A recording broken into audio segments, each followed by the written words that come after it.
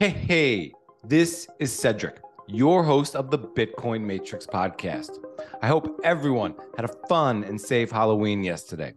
Before we get into this truly fascinating conversation with Michael Saylor about his speech at the Atlas Shrugged Society, which described how Satoshi opened a portal from the physical realm into the digital realm, bringing life to a formerly dead realm consisting of only shadows and ghosts bringing conservation of energy and matter, objectivity, truth, time, and consequence into the digital realm. So, before we unpack all of that, I want to tell you about Crowd Health. Last week, I interviewed Andy Schoonover, the CEO of Crowd Health, and I came away from that conversation more compelled than ever that by taking responsibility for your own health with your own money on a Bitcoin standard is the solution to the broken healthcare system that until now we have been trapped inside of. So please go back and check out that conversation with Andy and think about what if you didn't have to pay healthcare premiums anymore? What if you could invest in Bitcoin instead? Stop supporting the broken health insurance system with your hard earned money. Right now, you can get your first six months for just $99 per month. That's just a fraction of high deductible insurance plans. So go to joincrowdhealth.com and use code MATRIX now and experience freedom from health insurance by utilizing Bitcoin. Crowd Health is not health insurance, it's a totally different way of paying for health care. Terms and conditions may apply. And now, let's enter the Bitcoin matrix with Michael Saylor for this amazing rip on how Bitcoin is a union that offers hope for the individual struggling against the oppressive force of the collective and how it is the best chance we have to heal our world and rise above the chaos.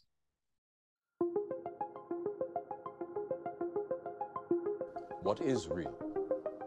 How do you define real? You can't jump into cash. Cash is trash. What do you do? You get out.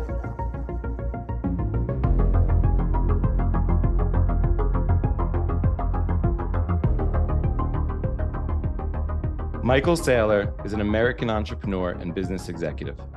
He is the executive chairman and a co founder of MicroStrategy, a company that provides business intelligence, mobile software, and cloud based services.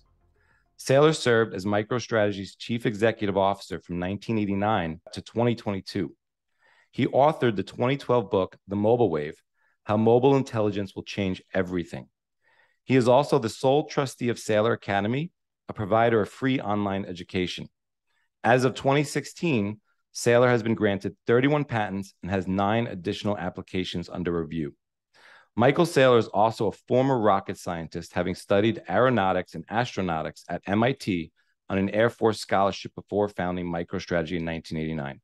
Michael Saylor, welcome to the Bitcoin Matrix podcast. How are you? I'm excited to be here. Awesome. Uh, I'm excited to get to speak with you.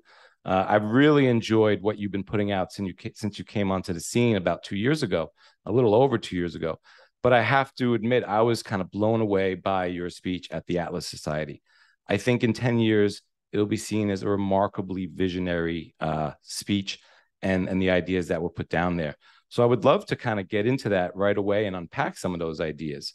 Uh, primarily, maybe we could start with the individual, you know, the individual struggle versus the collective and what is the challenge of authority that we're dealing with today?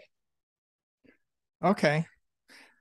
Well, you know, the, the genesis of the speech is um, I was invited uh, to speak at the Atlas Society Gala. And uh, of course, the Atlas Society is, is you know, based loosely or, or inspired by Atlas Shrugged and the idea of Ayn Rand. Of Ayn Rand.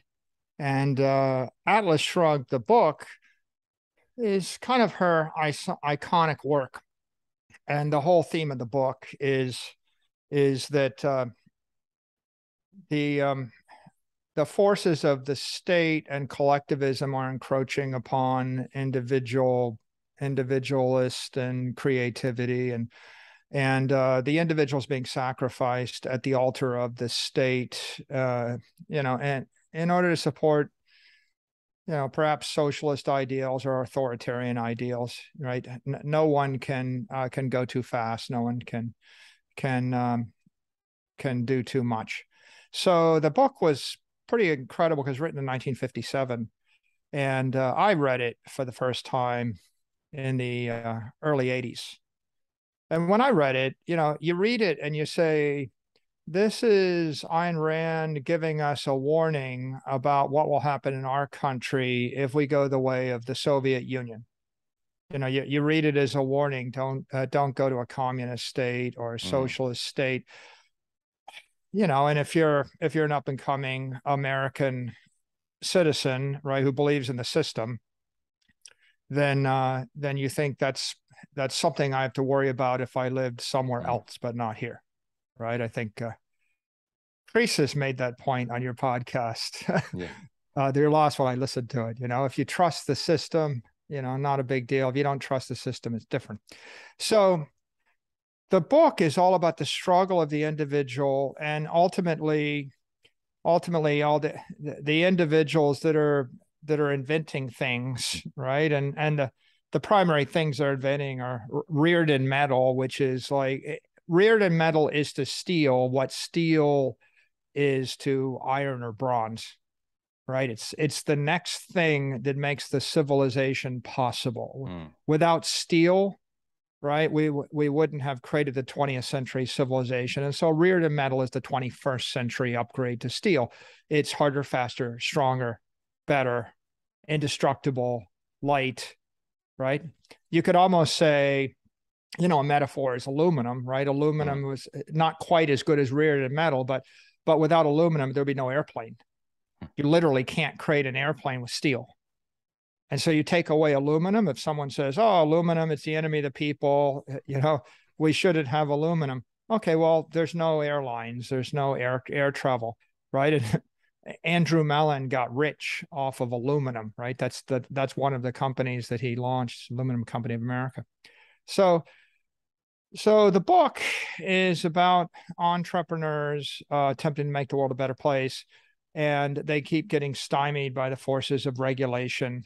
At, you know, e- either non-competitive monopolies that are supported by by uh, the government or or government agencies and they uh, they eventually get frustrated, so frustrated that they decide just to withdraw from the society and from the economy. They go on strike, and the phrase "Atlas Shrugged" refers to what would happen if if uh, the guy that's holding up the world on his shoulders decided to shrug. If he just decided he wasn't going to do it anymore.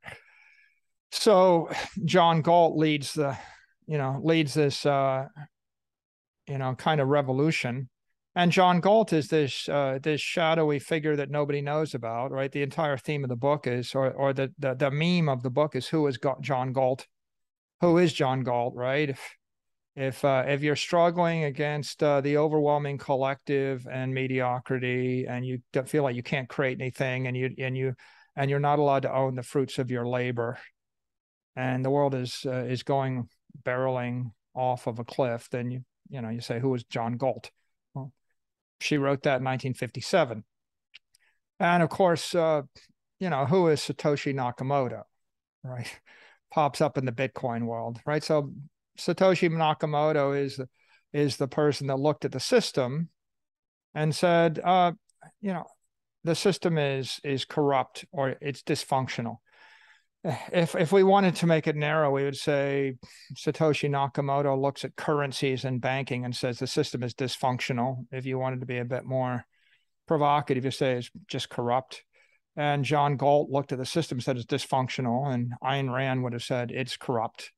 And so John Galt's solution is goes off to everybody quits their job, they stop creating things, right? The heroes basically sabotage their own companies like Francisco, Francisco d'Anconia sabotages his own company and uh, and goes off the Galt's Gulch, and eventually uh, the rest of the of the creators do the same thing, and that's their protest. The idea being, if we just all withdraw from the economy, then maybe somebody will notice, and we can create a better world.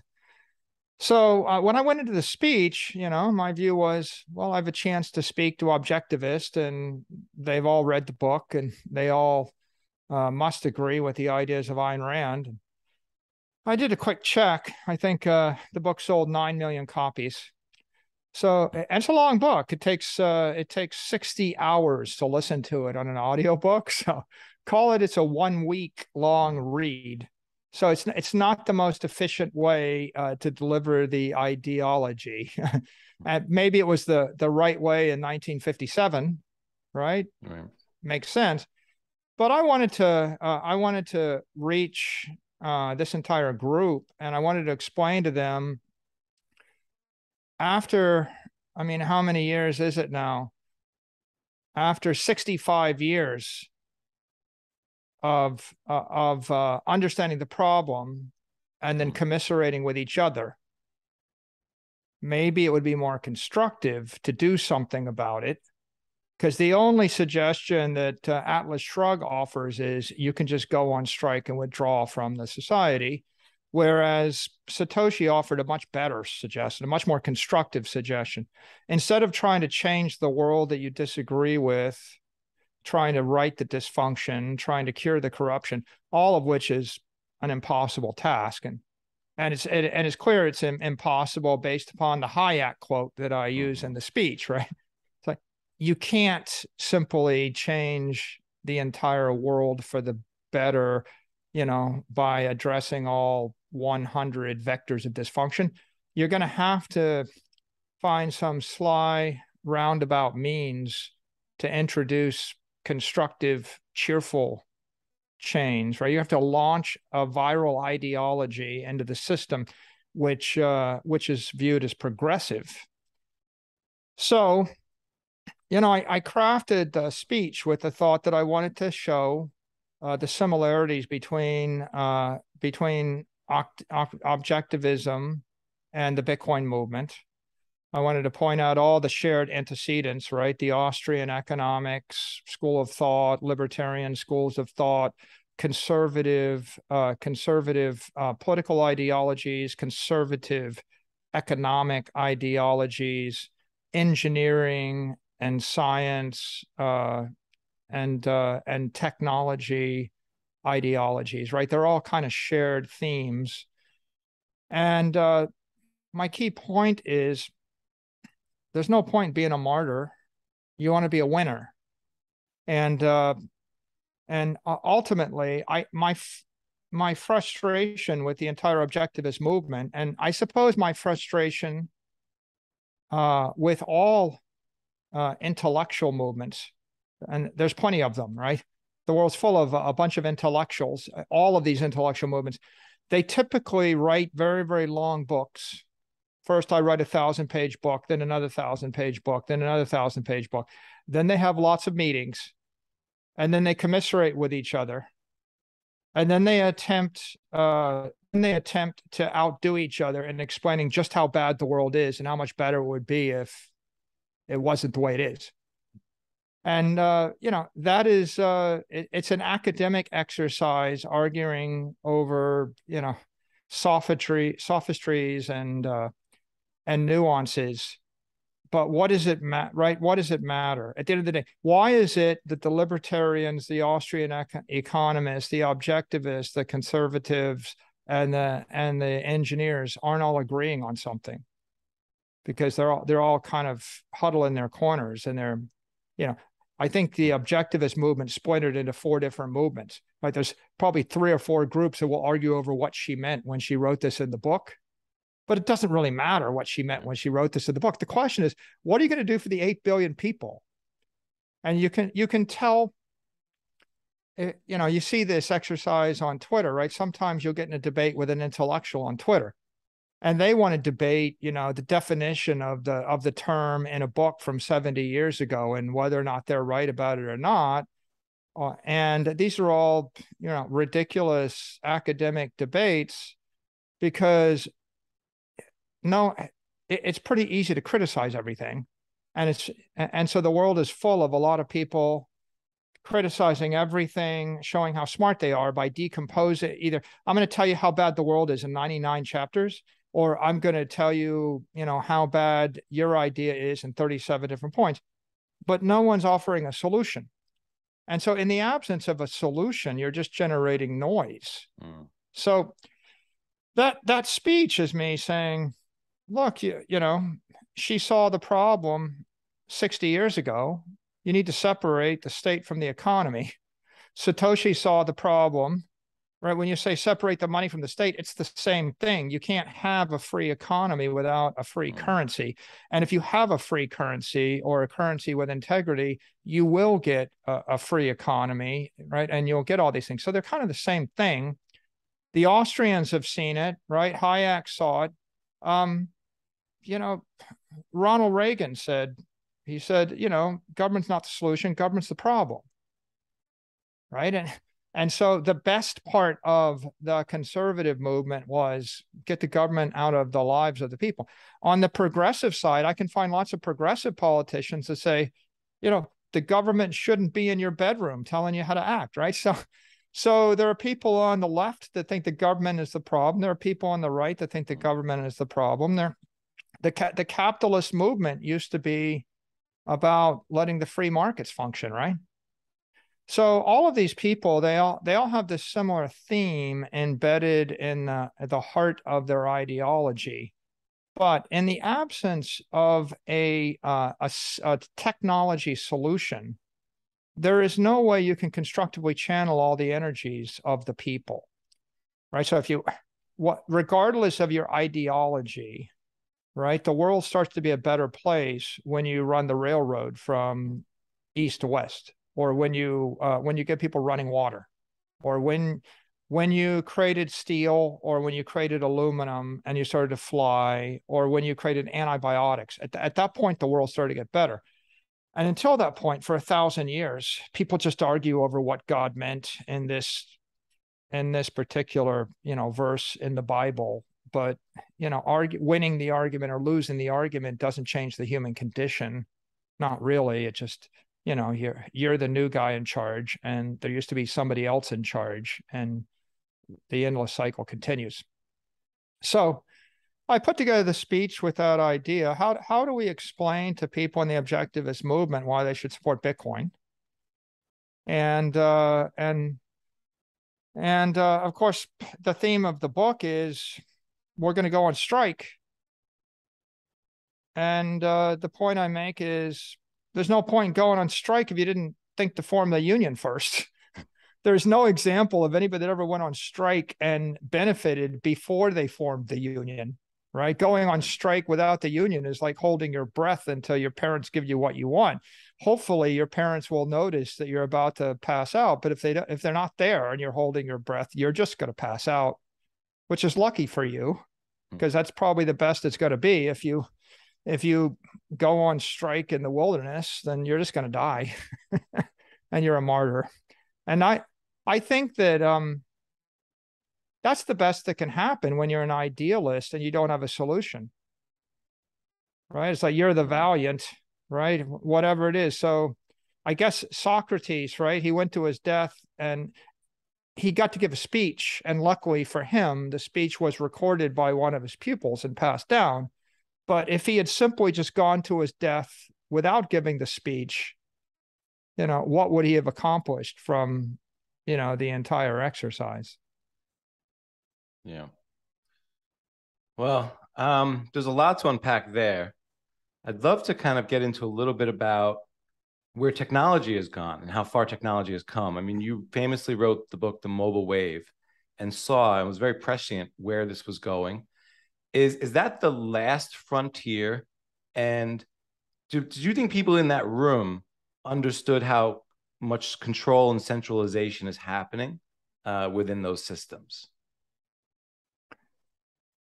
I I think um, everybody is everybody is beginning to perceive that we're in a new domain that uh, that exceeds the centralization or the uh, the authority of any previous time in human history. I think everybody's perceiving that. I don't think everybody can can articulate all 99 dimensions of this uh, of this movement and uh, and I'm not sure I want to. I mean, I, I could, but Mhm. Cedric, there's uh, here's my view on communications. It's like a pyramid. Um, there's a hundred things you think, there's 10 things that you do in order to make a living or get on with your life. And there's one thing you can probably say, and you should figure out what that one thing is.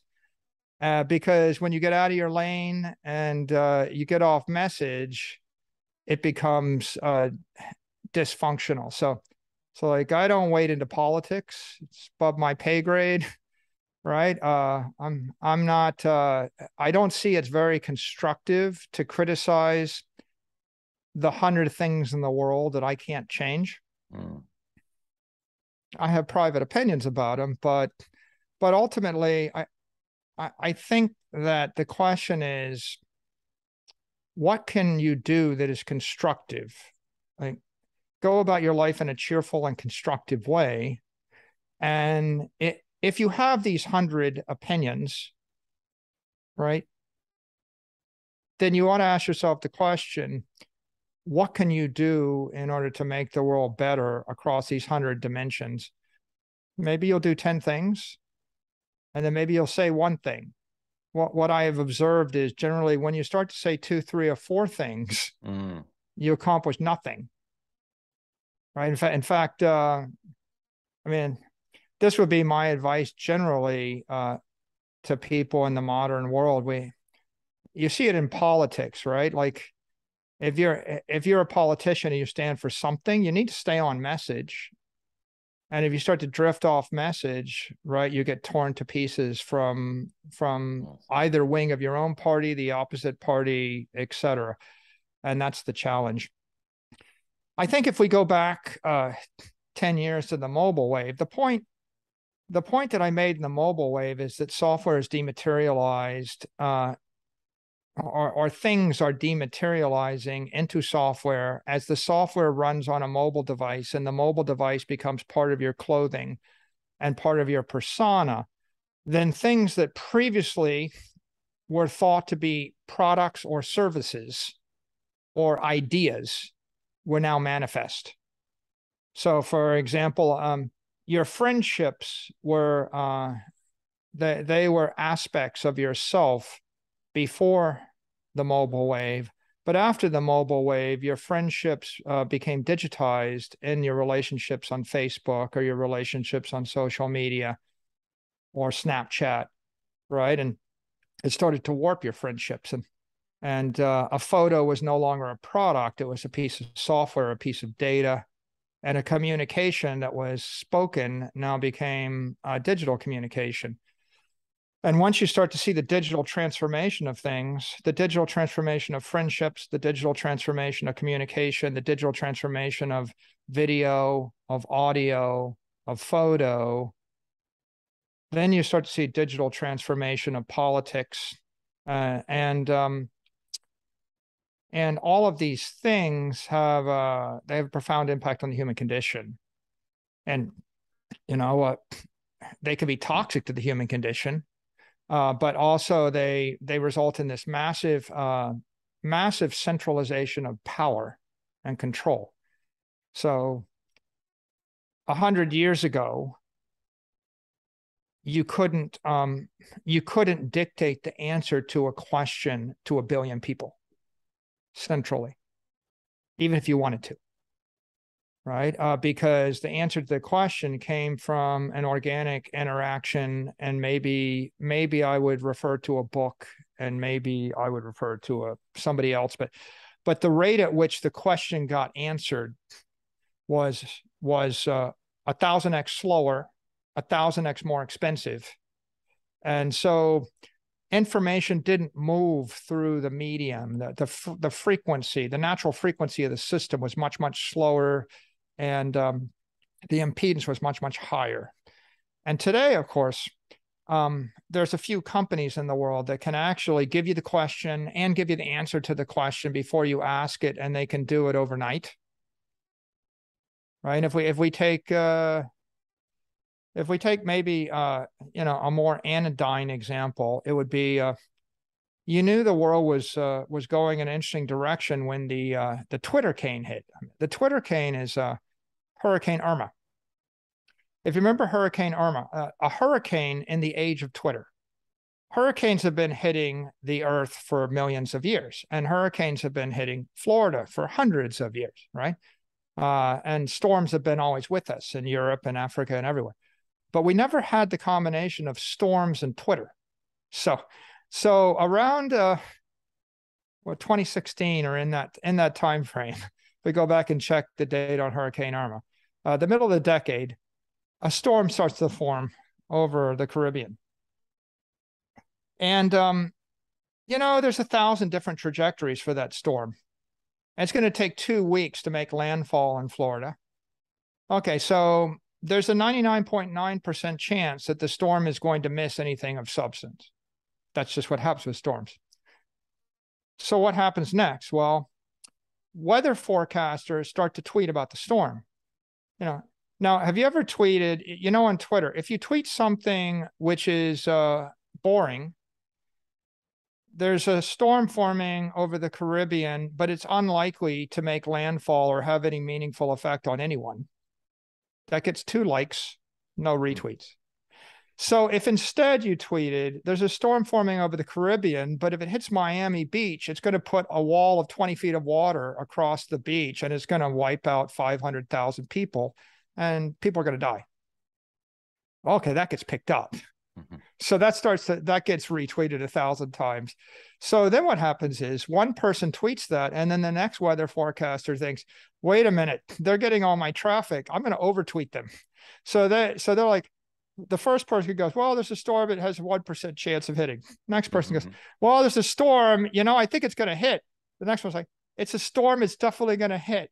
The next one is it's a storm it's going to hit but there's a there's a total scandal because the you know the mayor's not doing anything about it the next is well you know i'm not going to be the mayor not on my watch i'm going to do something about it the next thing that happens is 47 mayors do something about it the next thing that happens is the governor's involved the next thing that happens is the weather channel is running this thing full full time for two weeks there's the hurricane irma watch all of a sudden the advertisers are jumping on top of it right? People are glued to it.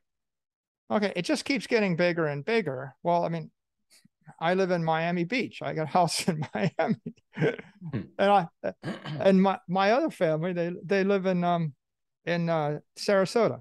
That's where I'm at. So I don't know. But then maybe if you were here around the time of Irma, you remember what happened.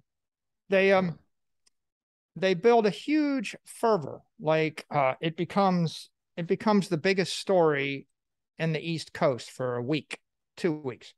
And um, they declare martial law in Florida and they declare martial law in Miami and they forcibly evacuate Miami Beach. They make everybody leave under pain of arrest. You can't stay because the storm, one of the trajectories of the storm has hit Miami. Okay, so this is uh you know everybody's well intentioned, right? I mean, oh, out of an abundance of caution, we need to evacuate. Okay, well, so what could go wrong? We're going to evacuate an entire city in the face of a storm. Okay, so then they go door to door knocking on doors to make sure that no one's in, in their houses. Of course, if anybody wanted to loot or break in, it's the perfect time to do it, right? They've emptied the entire city. They shut down all the businesses. And then everybody that evacuates fills up all the hotels. You know, hotel prices spike, businesses suffer carnage, massive, you know, massive distress. A lot of people leave the state. And then the ones that can, they evacuate and they go to Sarasota because that's where all of the authorities that be tell them they should go to escape the hurricane. And the last day, the hurricane switches direction, slams right into Sarasota. Like, like direct hit. They have evacuated everybody out of the place it missed into the place it's going to hit, doing Lord knows how many billions, tens of billions of dollars of damage. Everybody's fine in Sarasota. like I call, you know, I call members of my family. Okay, well, oh yeah, we're fine. Just bad storm. It's okay. Okay, so then so then eventually everybody says, well, you know, I guess I guess we were wrong about that, but we had to do it at an abundance of caution. Shut down the entire economy for two weeks because of a seasonal storm. Now, what's different? Was was the hurricane worse? No, the hurricane was routine. What's worse is the combination of of the social media, the uh, the the the the deathly combination is social media and Twitter, you know, Facebook, Twitter, the like, combined with cable news, like 24-7 news media that runs the story that wants to run the story. It's like I, I can run, you know, the Hurricane Irma story for 168 hours straight selling advertisement. So if I told you the hurricane was nothing, it's like, well, who's going to pay for that? Who's going to watch that? So you ended up with, um, I, I would say, this is like uh, auto inflammatory disease or like you get to a certain age and you get allergies. When you're young you don't get allergies. In age 21 all of a sudden you've got hay fever. And you try to figure out why. They say well you know the antibodies just build up in your system. Your system gets more sensitive. And then one day you know you're in the presence of a pathogen and you just start eh, uncontrollably sneezing because it's an exponential process. You know just like you wonder you know how, how could i like eat a peanut and have it kill me? How do i go into anaphylactic shock over something and I think uh, I think what you see is the nervous system of the world. The nervous system of the world has has has become too advanced, so that so that all of these uh, all of these social media mm. systems they're wired like uh, everybody's seeing everything. You know, uh, you remember when the pandemic hit? They're actually posting pictures of people dropping dead on the streets in China, and those go viral, and everybody thinks, "Oh my God, this is awful." Well, then a year later, where are all those videos? They're gone. It turns out that they were all fakes. Hmm. People people weren't dropping dead in the streets in China, but somehow they got going. Just like you know, lots of things flow on social media and uh, they go viral. So I think here what's happened is the civilization has all of its nervous systems cross uh, cross correlated. And the natural frequencies are too short. Mm. And so there's a resonating frequency. And when you strike something with a resonating frequency, it the signal gets amplified a million to one, 10 million to one. There's a reward to amplify the signal. There's there's a reward function for inflammatory behavior online like the the thing if it bleeds it leads. At some point i had i used to have facebook and i stopped using it. And the reason i stopped using it this is like five years ago six years ago. Whenever i opened my news feed i had i had 5000 friends. Okay so as many as you get right? I maxed out on mm. friends. When i opened my news feed i didn't get a flat neutral news feed first in first out of whatever they were saying. Right. what i got was the most angry most upset or most despondent of my friends nonstop. Like oh uh, somebody in my family just died and i want to kill myself. Oh uh, i the world is coming to an end and i want to murder these people oh this you won't believe how you know here's a picture of things being murdered and bloody and their heads chopped off and being crunched and isn't this horrifying? And i just got this never ending stream of horrifying inflammatory toxic stuff and i said I know that 92% of my friends aren't suffering from horrific anger, angst, and despondence and tragedy right now, but the news feed makes it look like that and I couldn't get rid of it. Right. It's just like every day I'm going to sift through your 5,000 friends and find the one that's going to make you the most upset. And I'm going to put that in front of your face and keep poking you. And so that that algorithm, I think it just kind of went toxic. And I see the same thing with uh with all of these big tech companies where the algorithm is toxic the people are rewarded uh, for amplifying toxicity to make it worse. To make it worse, you know, like when I post on Twitter, like this morning, I posted on Twitter. I had uh, 498 comments in the first uh, few minutes. and 95% of them aren't people. Right. You know, like I, you know, 98% aren't people. I have to wait, right? But it's so what you've got is is you have toxic trolls, you know, and they just make the most toxic comments. You have inflammatory uh inflammatory posters, and then you have uh, malefactors that have bots that are actually stoking the bots and for whatever reason, you know, a lot of the social media platforms can't stop them. And then you've got other mainstream mainstream actors, right? That once the idea of the Twitter came, once the idea the hurricane was going to hit Miami got stuck in people's minds. And it's it's a silly thing because a week out, right? Any any statistician would say there's not more than a 1% chance it's going to do that. You knew that a week out. But there's no money to be made in mm. that. And so once that idea was introduced, that little fleck, you know, that little irritant was introduced, Everybody on Twitter jumped on it. Then everybody in cable media jumped on it. Then everybody in the weather business jumped on it. Then the mainstream media jumped on it because they don't want to be outdone by the weather people. If it's a crisis for the Weather Channel, it must be a crisis mm-hmm. for the New York Times, the Wall Street Journal, the Washington Post. We're going to get it. Then it gets into mainstream cable, right? Why not just cover it on, you know, CNN and CNBC and Fox and the like, because we don't want to be outdone by the story. And then every local politician, and then every mayor, and then every police chief gets to jump on it. And then the governor gets to jump on it. Pretty soon, FEMA is involved, and the White House has a statement. Okay, so you saw all this happening for Hurricane Irma. That was your wake up call, right? That was like the, right? That was the warning shot. Hmm and then uh, you know what happens next? Well i'm not going to go into the details what happens over the next four years because many books have been written about it but but you know around 2020 right we see we see a, a, a reaction an allergic reaction where the entire world goes into anaphylactic shock. Hmm.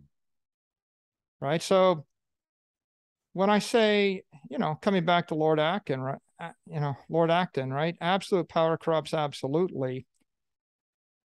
We've always had absolute power for a million years. We've, I mean, we've never had a period where somebody with power wanted to take advantage of somebody else, right? And we've never had an example where it didn't go to their head, right? Read Shakespeare, you know, read read the Bible, read, you know, everything. Every religious text or every every ancient text in every culture has got the story. That's not new. What's new is the natural frequency of the communication systems is much higher. The impedance of information flow is much lower, and uh, and the power is much more extreme. Every authority, right? A hundred years ago, right? If there was a medical authority, they might have had the power to issue some edict, and ninety percent of the people wouldn't have even known it was issued, mm. right? But they, but they wouldn't have the power to put a little ticker, like halfway down the screen on every screen you look at, every minute of the day for the next three years for five billion people, right? if I could reach into your eye and I could pry open your eye and I could like plant something, mm. right? The blue sky is going to kill you. The blue sky is going to kill you. The blue sky is going to kill you. If I just put it right there for 5 billion people, even if it's not true, it's going to work, right? It's going to, it's going to drive some portion of the people insane and drive the rest off their rocker because, you know, I, I, I honestly believe the blue sky was bad for you, Cedric. I mean, I, I was trying to help like just like that everybody was trying to help when the hurricane was coming our way. They're trying to help. Statistically the damage done by declaring martial law on the entire eastern seaboard and and uh, ejecting everybody from their homes is 100x 1000x 10000x greater than the statistical damage that would be done if you got hit by the hurricane head on. But you know when you when you have um a society where everybody feels like it's their job to help right everybody's trying to do too much mm. and and uh, and we see that forming and i think the you know I'll, I'll make one last point and i'll stop the biological metaphor here is uh it's autoimmune disease and allergy, right? Like, you know, you get to a point where you're allergic to everything. It's higher order vertebrates with very sophisticated nervous systems that are allergic to everything. You know, a, a bacteria doesn't go into anaphylactic shock when they smell a peanut, right? It, you know, simple creatures don't have that problem right as as your nervous system gets more sophisticated as you get more wired the you know the classic you know the classic uh, metabolic disease or the classic problem is is um i engage in inflammatory behavior over and over again. Like i continually smoke drink eat too much dose myself with liquid sugar. Something like that where i'm or, or, or just like you know i um maybe i damage my knees i damage my joints right? Or mm. you know anything that's grinding down your hard tissue or your your um continually cycling your insulin levels or you're continually jamming tar nicotine in your lungs anything like that uh it stresses the body. And over time the body reacts and eventually the body reacts with you know with uh, some kind of allergic reaction with in, and with inflammation right? And most most things that shorten our life are caused by inflammation right inflammation of the arteries mm. inflammation of the heart inflammation of the digestive tract inflammation of the joints all of these things they're infl- you engage in inflammatory behavior and there are consequences. And I think what you can see is that technology has introduced uh, new forms of inflammation into the civilization. And we just were at a very vulnerable point over the past few years where after after enough encroaching technology and enough strengthening of authority and then enough inflammatory behavior right the it's like the entire body politics shut down. And uh, now we're left with the challenge of what are you going to do about it, right? What what is the solution when you you know when you're suffering from autoimmune disease or, or you're suffering from metabolic disease or or or extreme allergies or extreme inflammation you know and um there's a book called the fasting cure written by um, Up, Upton Sinclair, 1909, I think. It's free. Copyright's expired. Anybody could read it. And what Upton Sinclair says in this book is very, very smart. He says, uh, I talk to everybody, I look at everybody, and and uh, what I notice in the world of today, and the world of today, of course, is 100 years ago. He says, I notice doctors are prescribing too many uh, cures that don't work.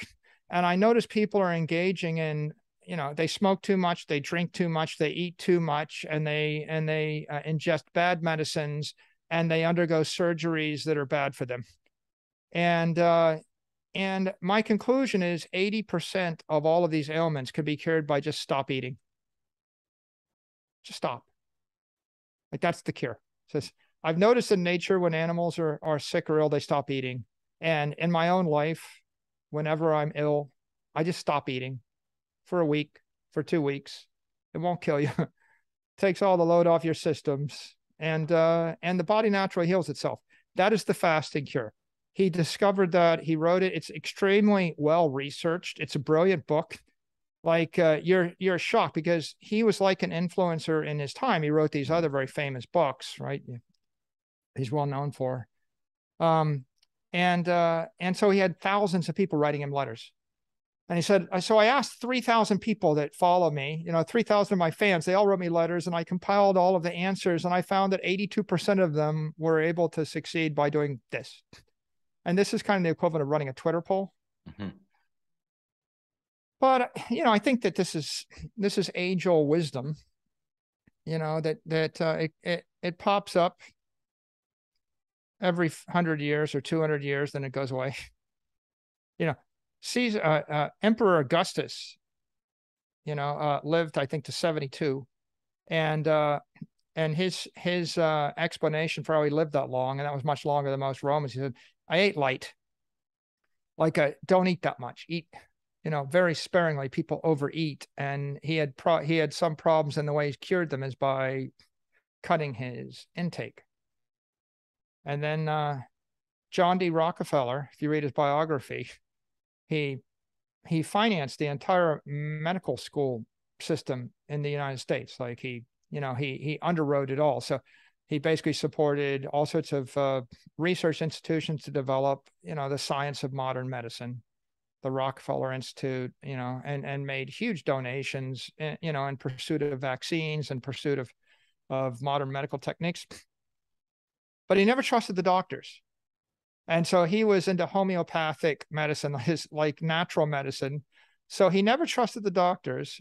What he was known for was he didn't smoke, he didn't drink, he was a practicing Baptist. He was austere in his lifestyle. He was thin his entire life. He exercised every day. He stayed active into his 70s, 80s, and 90s. And he lived to be 99 and three quarters. Mm. And he outlived all of his doctors, which is amusing. He, everybody that preached to him, that had all this useful advice for him, uh, you know, he outlived them all. And he outlived them all by exercise, you know, mm-hmm. thought, ca- careful thought about what he put into his body, right? And a cheerful disposition. And uh, I think there's an object lesson in there. Tremendously. Yeah. Uh, I'm enjoying this so much. Uh, I want to turn to one of your quotes from your speech because it, it reflects a lot on what you just said around like when I hear inflammation in society and and sort of like we're fighting a virus. So most people don't realize this, but Satoshi opened a portal from the physical realm into the digital realm, and energy began to flow into cyberspace, bringing life to a formerly dead realm consisting only of shadows and ghosts. So I first heard that I think on your talk with Preston, where you talked about the bots on Twitter and how this is a dead realm. How did what Satoshi did on January 3rd, 2009, breathed life into cyberspace? Well, let's, I mean, let's start with why cyberspace is dead. What is a shadow? Uh, a, a shadow, just like, you know, Plato's, you know, analogy of shadows in the cave.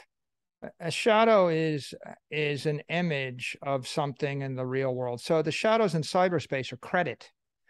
So like when you're when you're mm. circulating a hundred dollars on a credit network, right? The hundred dollars doesn't exist on the network. It's a shadow of something that exists. It's a shadow of a shadow, right? Ultimately. Right. And if the bank decays the deal, the money didn't change hands. So when I represent something in cyberspace, I represent, for example, that that I am uh, me, and I get a blue check okay and and that is a certification by a trusted third party right? Twitter is the trusted third party and my persona in cyberspace is a shadow of me. Okay? So credit is a shadow of money and avatars you know on facebook or youtube or whatever are are, are shadows of people. And then what are the ghosts? I mean the ghosts are the bots.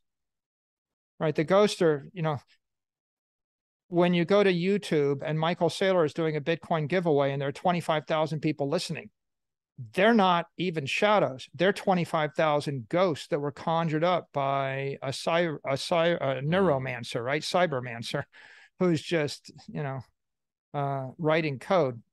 So, so the status quo of the internet before Satoshi is is everything is an image, a shadow of the reality right? Uh, and a credit reflection of reality based on one or more trusted third party or one or more counterparties. And they all have counterparty risk, right? Because mm. like today on Twitter, in my uh, in my notifications, I had 10 Elon Musk Bitcoin giveaways pop up with blue checks. Okay, so do I trust the blue checks? No, because I'm smart enough to realize that 10 blue check Elon Musk Bitcoin giveaways are obviously hijacked uh, hijacked um, personas or hijacked avatars. So what you have is, um, you know, those are like bounce checks, Cedric. Right? It's like they're they're bad checks, ten of them. And if I, you know, I look at the check, and if mm. someone gave you ten checks for a million dollars each, written on the Bank of America, you could say, this is great. I'm going to give you my $10 million building and take your checks because it's signed by Bank of America. Or you would say, no, there's no way that, you know, you've got 10, $1 million checks or something fishy. here I'm not giving you my building. And I'm going to call and I'm going to find out that they're all bounce checks. They're not real. They're check kiting. So we have this. It's pernicious. It's all over cyberspace. And uh, the result is you've got denial of service attacks, you've got phishing scams, you've got you've got uh, I've got an inbox. My my uh, inbox and Twitter is full of all sorts of random bot uh, phishing attacks and then random email list. And here's the here's the catch: there's an API for them to spam me, but there's no API for me to delete it. So if I actually start to delete I can actually spend an hour a day deleting the incoming spam. It, you know, it takes them a minute a day or a second a day. So right. I can't win. I can't even page through the spam. So if you if you're in the um if you're not one of my followers or I, I follow, if I don't follow you, then if I start to try to page through the inbox, it takes me about 25 seconds or, t- or, or 10 seconds for the thing to page and it's so slow that I can't get mm-hmm. through the list to figure out whether one in a thousand of them is a real message. Okay, so that's the world we live in right now. It's ghost screaming in your ear, right? It's if you walked into a room and there were 19 million ghosts and there was one person and the ghosts are making so much noise, you can't hear yourself. You can't see anything, right?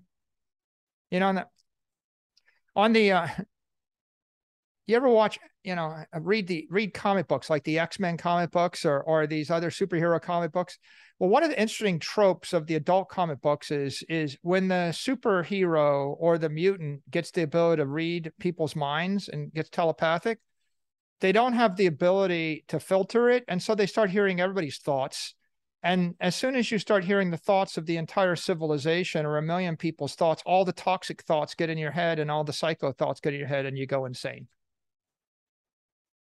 Right? You, you don't want to be able to hear everybody's thoughts, right?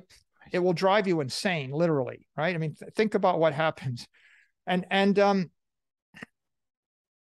the closest thing to this happening in the real world to nice people is when you get on Twitter and you become uh, active on Twitter, like I, I see these uh, these twenty somethings, they get on Twitter and and they maybe they haven't dealt with this hostility. They post something, you know, the sky is blue and I'm looking forward to going to the park, and then what? They get attacked by nineteen hundred evil, malicious trolls and then they get attacked by 15 people that simply want to hijack their followers by calling them moronic, stupid enemies of the people. Right. And then there's someone else that's going to murder them. And then there's some other diabolical freaking demon, right? That calls out of this and it gives people mental health problems. Like, like literally they'll go, I'm suicidal or, or, you know, I, I can't focus. And, um, when I talk to them in private, I say, look, here's my advice insta block. Like someone disrespects you or something like that, you can't even think about it for 100 milliseconds. Right. You literally have to go, oh, Blake, like, you know how long it takes to figure out whether the person that just, you know, ripped you to shreds in the most diabolical way, how long it takes to figure out whether they're even a person. It, it takes like a minute or two minutes to figure out if they're a person. And it happens that there are malefactors that are launching 10 million of those things a mm-hmm. month. So if you take two minutes times 10,000 to figure out that they're, they're, so what does it matter if they're a person or not? Right? Doesn't matter, right? Um, if they are a person, you need to insta block because they're just an awful person. And if they're not a person, that's even more diabolical. Some evil person with a political agenda or some other agenda anti yours or counter yours has launched 18,000 non persons to distract you and to uh, and to bend the conversation uh, in their direction because there are no consequences. So, so we live if you lived in a world where your worst enemy could launch 19 million demons to murder you, right? It wouldn't be a good world. You better find a spell that makes them go away, right? Right. You're not long for the war. In cyberspace, you are in a world where your worst enemy can launch 19 million demons and maybe it's to hurt you or maybe it's to scramble you or or maybe it's just to steal from random people. Do you know how often those uh, michael saylor bitcoin giveaways spin up on youtube on a good week? Every 15 minutes. There's 25,000 people listening every 15 minutes. You know how many people i have tracking it to shut them down? Three. Okay. If you can spend a million dollars a year, 24 7, 365, you can report uh, 500 or 1,000 of these things a week. There's a there's a, a delay of two to eight hours before they take them offline. And they just spin them up with another script. Like they're still happening. The only reason they stop happening is they just pick someone else to troll. They just they Right. just plug in there that you know it used to be the Winklevoss, you know, twins, and then it was Elon, and then it was Vitalik, and then it was me, and it goes back. So that's the problem in the dead realm, right? And I think it is a pro. I mean, you want to trust your 16 year old daughter in that realm? Look, I'm a grown man, right? Like I am 57 years old and I have lived through, you know, 99 chapters of brutality of people behaving badly toward other people. And I go online and I still deal, I see all these these sh- shenanigans and I have resources that most people don't have, right? you know, and yet it's still a challenge, Hmm. right? Like I still have to be very careful. So I, you know, a 21 year old that's operating by themselves in cyberspace. Is like maybe like your 21 year old wandering through a war zone city with you know everybody running around with guns and and three sides and four warlords and bombs falling out of the sky it's not a safe place right? It's eh, eh, it's uh eh, it's a problem for corporations it's a problem for individuals it's a problem for everything. So that is the dead realm. What does satoshi do well satoshi uh gave us uh, the ability uh, to move something of tangible value from point A to point B through cyberspace without a trusted third party. Right? We solved the Byzantine generals problem. We also solved the problem of how we move money between two parties without a trusted intermediary. Right? Uh, we and and that is about as far as most people go like that they say well satoshi solved the oh, the lowbrow you know the lowbrow thing is people say satoshi solved the double spend problem. Okay. Well when i was a freshman at mit we never never would have used the word double spend right? It's just a, what it was a vernacular right? Or a colloquialism of some sort right? Uh, we would have said uh, Satoshi implemented conservation of energy in Hmm. cyberspace, right? When you solve the double spend problem, what that means is when there are a thousand units and I give you 500, I have 500 left and there are still a thousand units. That is conservation of energy. When I don't solve the problem, I give you a thousand, uh, 500 units and I keep a thousand. Now there's 1500 units and the next person gives their 500 to someone else and now it's 2000 units, right? So now I don't have, cons- I have a non-conservative transaction. And non-conservative transactions take place everywhere in the digital realm, right? That's the, that's the basic underpinning of Napster, of the web.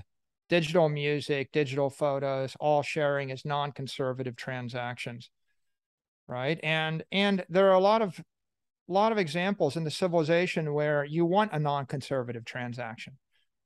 Like if you're trying to actually share beethoven's fifth symphony to a billion people right you you want the conservative way to do it was 150 years ago you had an orchestra in the king's parlor and if you were one of 100 people sitting there in the room you could hear the symphony and no one else could hear the symphony because the orchestra could only be in one place at one time and after it was done, no one could hear the symphony, and you didn't get to share the symphony. And unless you were a king, you didn't get the orchestra.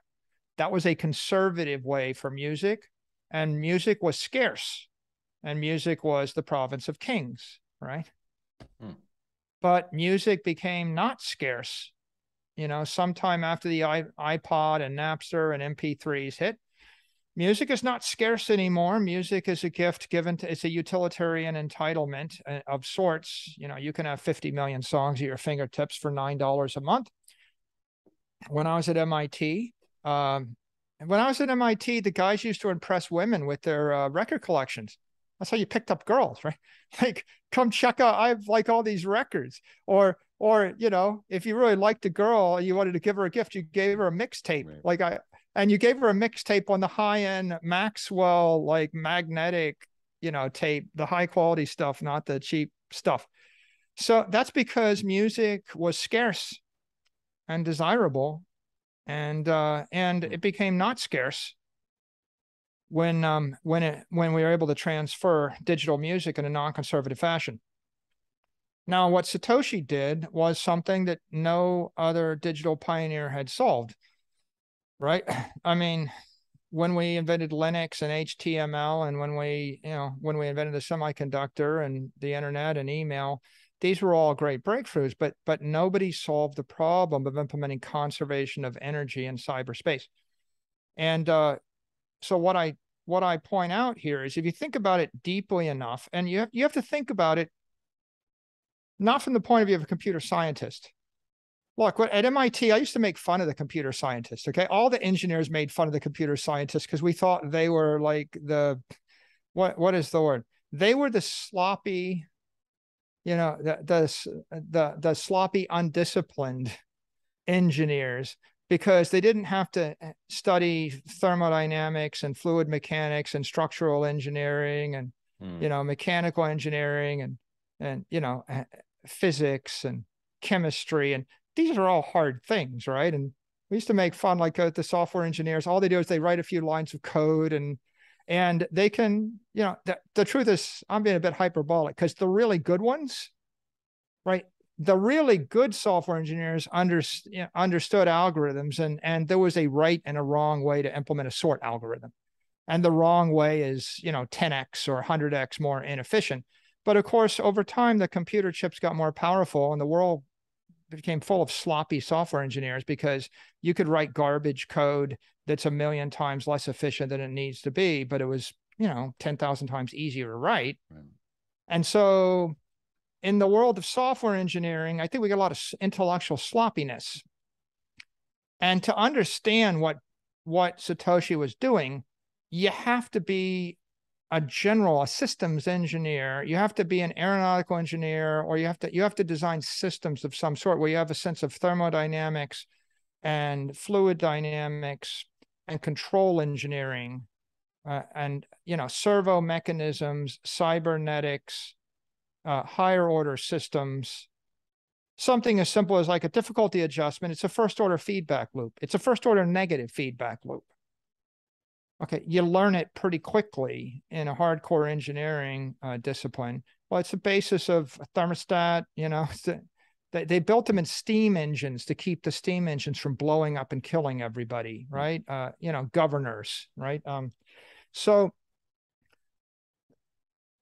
so I think that uh, what Satoshi did, oftentimes it's it's undersold because it's communicated in a colloquial way by software engineers or by maybe by uh, accountants to each other, right? And they they use the language of accounting or they use the language of money transfer. The problem with using, you know, political language, economic language, or even monetary principles is those are not engineering disciplines until Satoshi mm. came along. See, before, like even the Austrian economics, who are the closest thing to engineers in the economics realm, they're not engineers because we think about it. When the Austrians wrote everything about money, there was no example of a perfect money in the history of the world. And so they'd never actually lived in a civilization with um, anything that looked like mathematically correct money.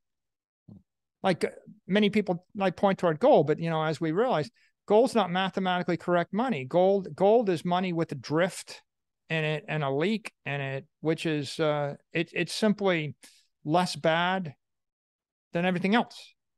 So the economist, the monetary theorists, the politicians, the accountants, they all, you know, they all struggled with their own metaphors. The, the people that have the stronger metaphors and the stronger uh, mathematical models are the physicist, like hardcore physicist, uh, mechanical engineers, aeronautical engineers, systems engineers, electrical engineers, and, and generally anyone that had to build uh, systems that were subject to Maxwell's equations or Newtonian laws, you know, phys- physical laws or mathematical laws. And if you look at the, if you look at the degree of variance, right? Uh, if you built any kind of physical system, uh, like look at a Roman aqueduct designed 2,200 years ago, and they had to design those systems, uh, the, the inclines of the systems with effectively, you know, no leakage and uh, a few hmm. basis mm. points of variation over the course of 40 miles. Like that, they knew exactly this is going to be a 37 basis point declination. And if I'm off plus or minus five basis points, I'm not going to make it. It's not going to work. Right. So engineers for the for thousands of years have had very precise tolerances. You can't be off by 1% or just doesn't work. Not only does not work, everybody dies. Right. right. And economists have been dealing the best the best money we ever had, which was gold, is off by two to four percent at any given normal year. And in bad years, like the conquistadors come back with a big gold find from the Incas, it's mm. off by 15% or 20%. Right you know, Julius Caesar conquers Gaul and comes back to Rome and creates hyperinflation because he brings too much gold back. Okay, so so we've never had a really good answer, right, in the world of uh, of currency, and therefore it never really reached the level of engineering. And so that's why I think um, people don't always understand it. But coming back to your point, so Satoshi implements the the solution to transfer value through cyberspace. If I put a billion dollars into a wallet and I've got the private keys, by transferring the private keys to you, I've transferred the billion dollars, and you know, and that's a very interesting idea, right? In a conservative fashion, right? The first person that decides to to tap into those is getting the money, and the next person is not. They're coming up empty. So most people stop there because they think that's a revolution in banking and it it sort of is but the idea of being able to move a million dollars from you know new york to tokyo is only the second order idea. It, it, it allows you to bypass the fed and you know it allows you to bypass all the credit layers. So you don't need the central bank you don't need the correspondent bank you don't need the credit card network et cetera. Yeah all, all nice but what i what i've said tongue in cheek if you go back some of my tweets i said the magic of bitcoin is not transferring money to someone 10,000 miles away it's transferring money to someone 10,000 days away mm. right it's, it's it's a much bigger idea right the the minor idea is I transfer the money through space cross domains, point to point in cyberspace. The bigger idea is I manifest the money in cyberspace because something in cyberspace never dies. Just like if I put if I put something in orbit the Hubble telescope, right? If I put it sufficiently in orbit and, and reach escape velocity, it orbits forever. It's forever, right? Right. If I can get out of the atmosphere, I can get out of uh, the zone of decay. So the real interesting idea here is not that I can send a billion dollars from point A to point B for a dollar, like a, which is whatever, a thousand X, 10, a, a million X cheaper If I can move money a million X cheaper, that's an idea. But the idea that I could put the billion dollars into cyberspace at all, where it will be uncorrupted and immortal and last for a million years, that's a much bigger idea. And then the biggest idea, Hmm. the biggest idea is that um, once I put it in cyberspace, it's not just immortal; it's it's pure energy, right? I, I, people get confused about energy because, and we could talk about it a bit. The truth is, it's even better than energy. It's scarcity, uh, and we I, I'll explain why in a second. Um, energy is something tangible in the universe, but energy is not scarce, right? There's infinite energy in the universe. Hmm. Every star has got infinite energy, com- you know, compared to human requirements. So there's plenty of energy in the universe, but energy is a commodity and it is value. And so if I give you a million barrels of oil and you can pump a million barrels of oil a day out of the ground, you're rich and and you've got value. It's not a scarcity though, it's a commodity because because there's no cap on it. So if I could actually inject digital barrels of oil into cyberspace, and if I if I told you I was going to give you five million digital barrels of oil a day in cyberspace, you would also be rich and happy, right? I, I mean, I, I see the smile on your face, so that's good. Um, but uh, it's still not scarcity because you can't stop anybody else from creating energy right? The problem with your 5 million barrel of oil a day monopoly is if I create nuclear power plants and I don't need oil, or if I create fusion reactors mm. and I give you a fusion reactor the size of a thermos that'll generate enough power to light up a city for a year off of, you know, eight ounces of water, the oil as a commodity gets demonetized. You see, the utility function of oil is going to crash when the machines of the civilization don't require oil. When the machines of the civilization require natural gas, natural gas has utility. So energy has value in the real world. If I put energy into cyberspace, it also has value. But there's something better than digital energy. It's digital scarcity. And the idea of hmm. digital scarcity is it's not just that I'm bringing something of value into cyberspace, I'm creating something of value which is ultimately scarce everywhere and forever in cyberspace. I'm creating 21 million blocks of value and no more. So, what Satoshi did was he created the ability for you to move a block of value in the form of a digital commodity, which is also a digital scarcity from point A to point B from a computer to a computer. Once he did that, then in theory, you can move that on a layer two or a layer three. We saw today Cash App released so you know a new degree of support for Lightning. So now I can move uh, a block of Bitcoin via Bitcoin transaction on layer one, or I can move it on a Lightning transaction layer two, or I can move it on a cash tag transaction layer three. Mm-hmm. Okay, so that that is a pretty powerful idea. The idea that the thing that I'm moving is uh, a commodity is a leap forward for the entire digital revolution because there is no other piece of information that has uh, that is a, that is actually money that is a that is a bearer instrument that you can move from one computer to another computer. Everything else you can move in the digital realm is credit. Right? If I send you a hundred dollars on a credit card network, it's credit and it's subject to counterparty risk and multiple layers of counterparty risk. So this is the only thing that's not credit that moves.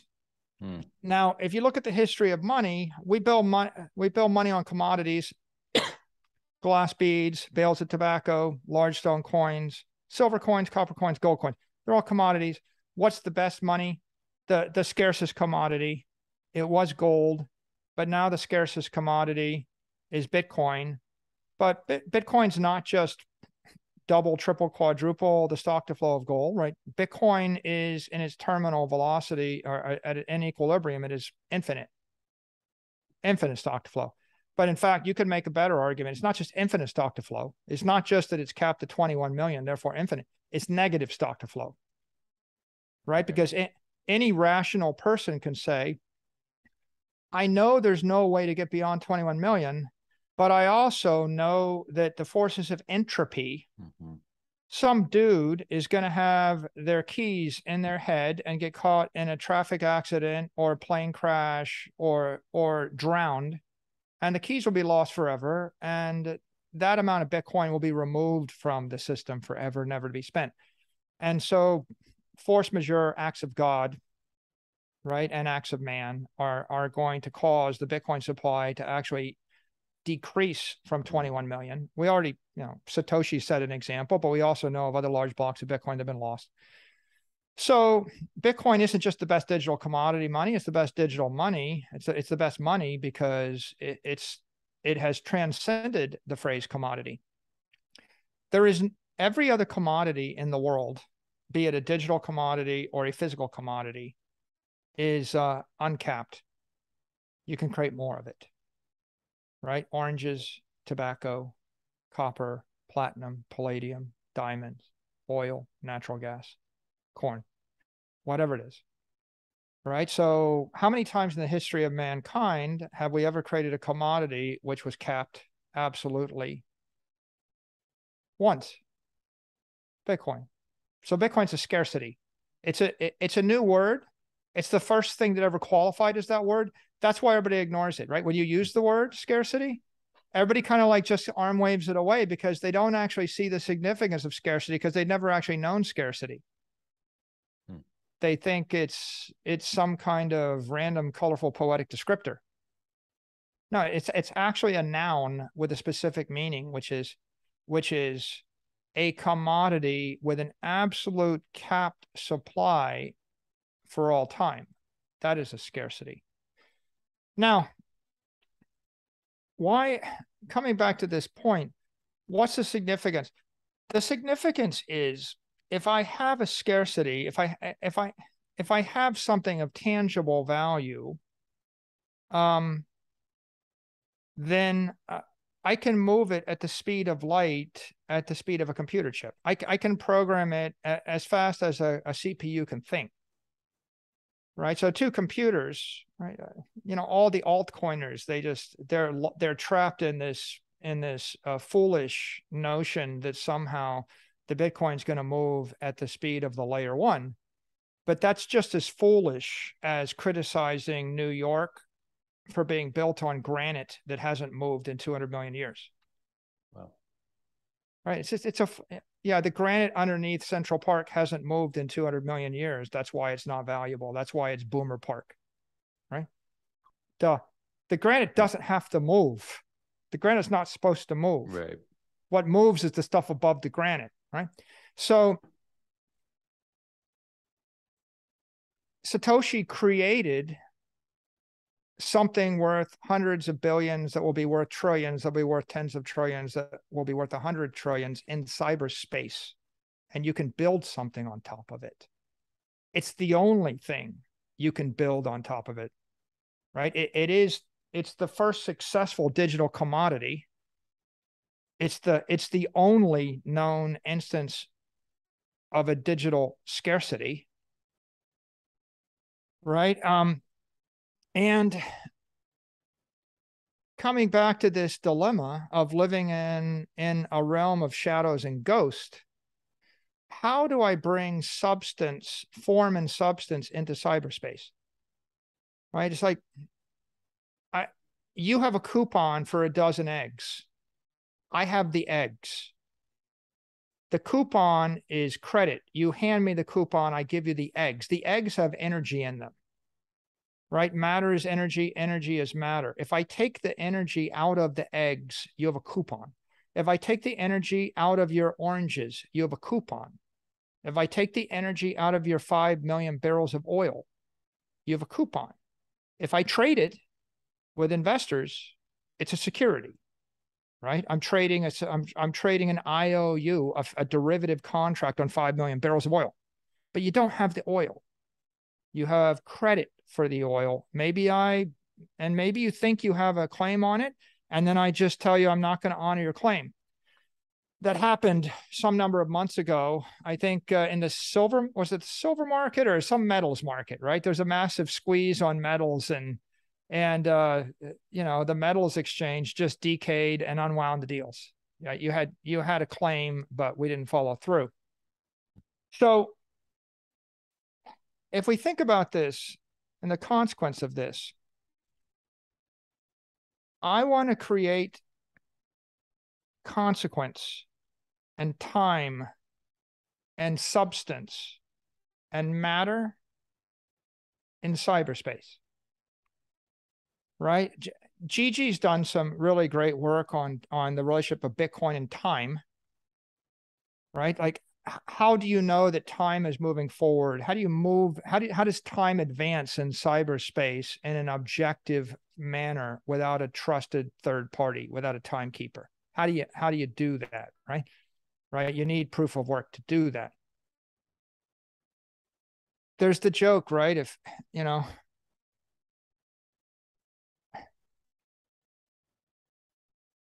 In space, nobody can hear you scream right? That was the old uh, Stanley Kubrick line, I think. And uh, in cyberspace, if you die in cyberspace, do you really die?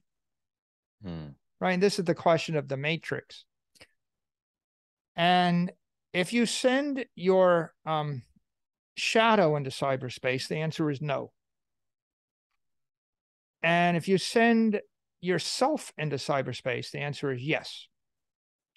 So, how, how do you die in cyberspace?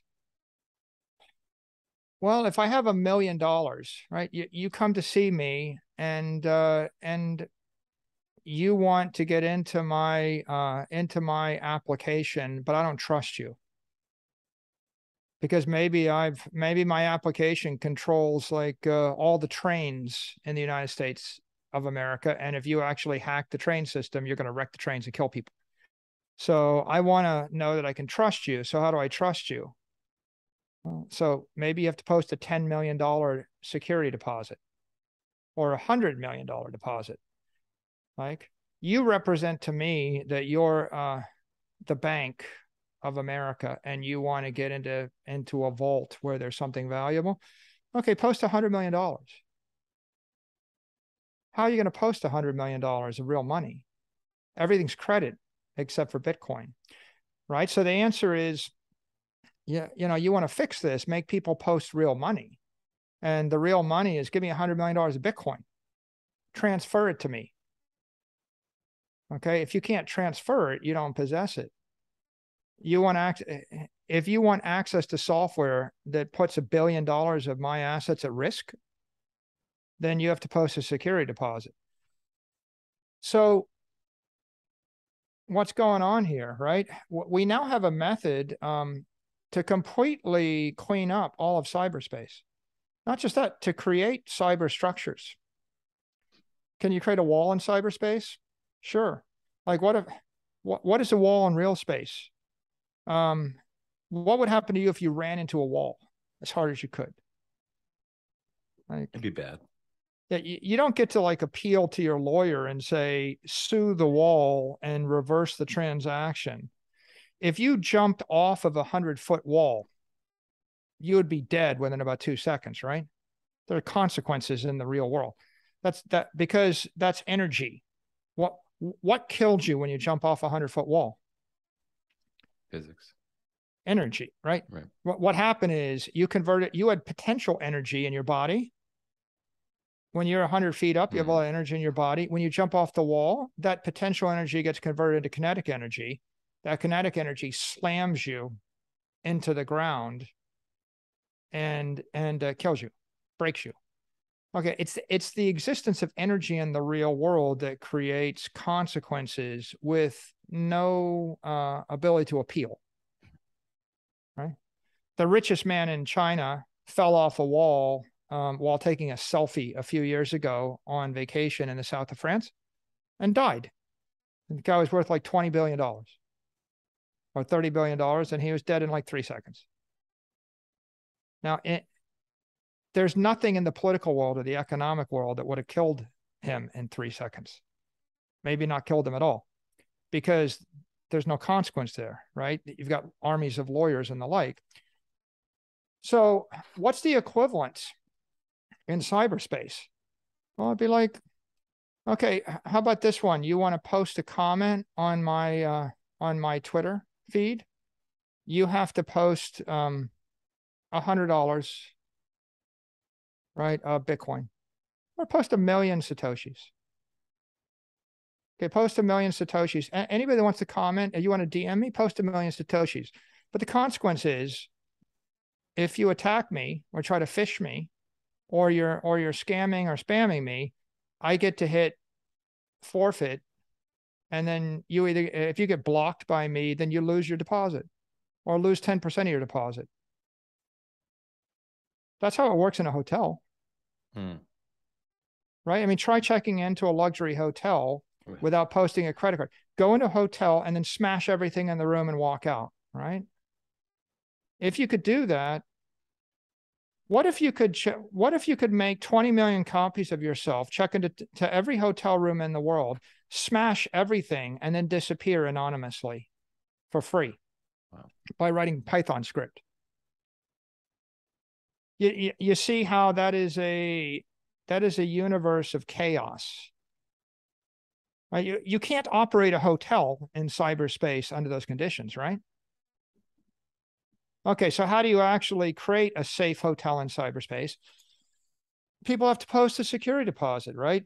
Maybe when Goldman Sachs posts a comment on, um, what if Goldman Sachs posts on Twitter, uh, on their Twitter account, and they post, well, you know, we think uh, we're about to like double our profit. We just announced it or we're going to quadruple our profit next year. We're raising guidance. Okay. And the stock trades uh, up $50 billion. Okay. A lot of money changes hands. So what if I hacked their account and I posted that? Could that happen? Yeah. Do, do blue checks get hacked? I just told you 10 got hacked right in front of my face today. Right? Yeah, they get hacked all the time. Okay. So that's kind of interesting. But now the question is, um, why wouldn't Goldman Sachs be willing to post $10 million worth of Bitcoin as a security deposit when they when they want to represent their avatar in cyberspace?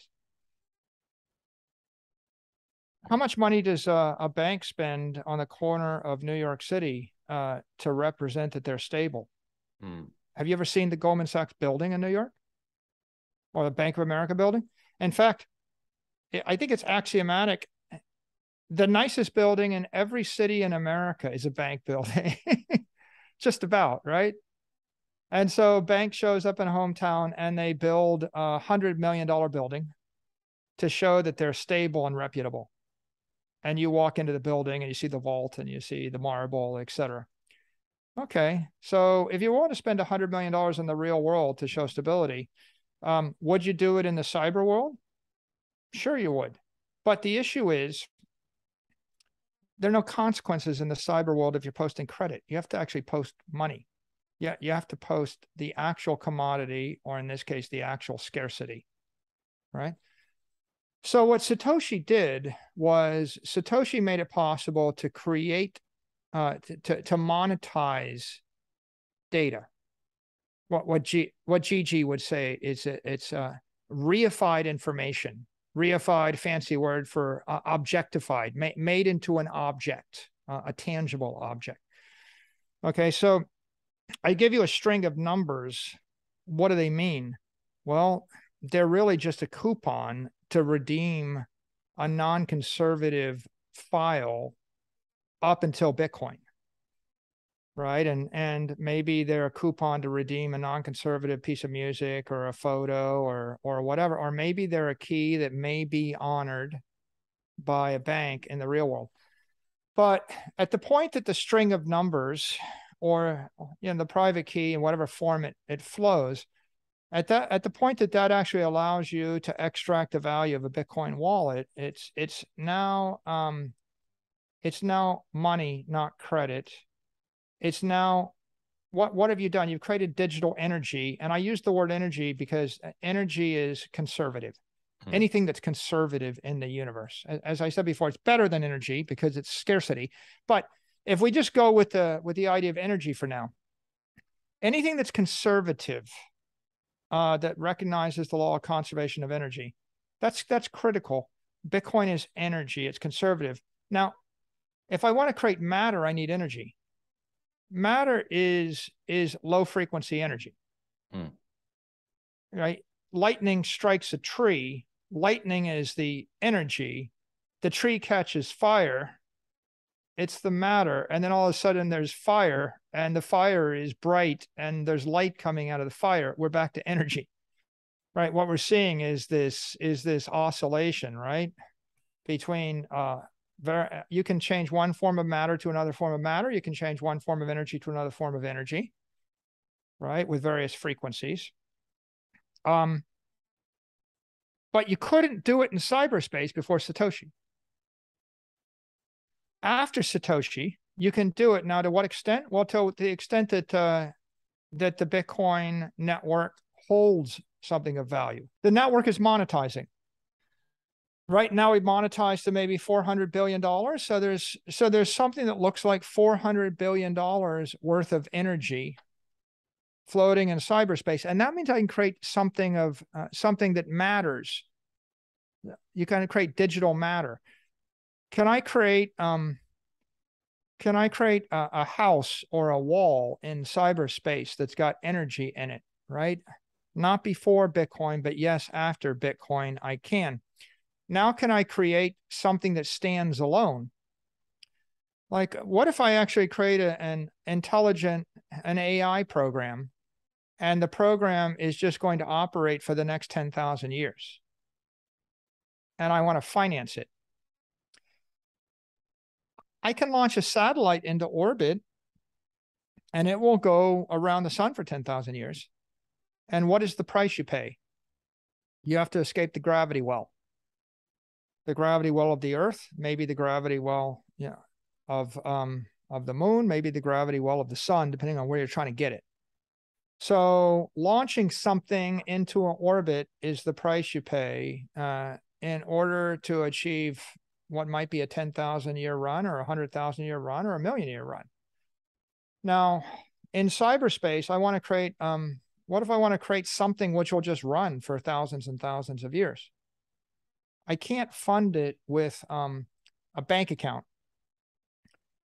And I got I got two problems, right? If I put ten million dollars into the bank account, well, the dollars are losing seven percent of their value a year in a good year. So the the dollar is going to lose ninety nine percent of its energy in hundred years. The bank's not going to last hundred years.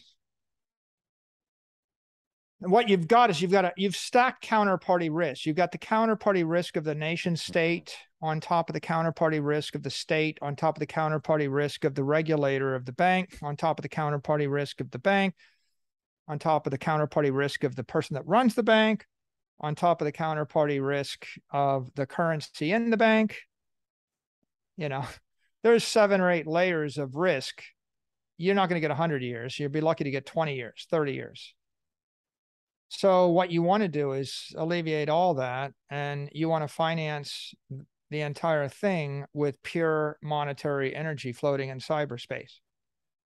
And that's what Bitcoin is. So I think what I'm saying when I when I point this out is there's 400 trillion dollars of monetized physical assets like real estate and gold and silver and commodities and equities and bonds and collectibles. And for the most part, the human civilization, uh, you had a deep discussion with Croesus on this. I listened to the podcast. Thank you. Uh, deep discussion, you know, where he gets to about 400 trillion. That's monetized because no one had a better choice. No one, you you didn't have an option to monetize something in cyberspace. And so Satoshi creates digital property.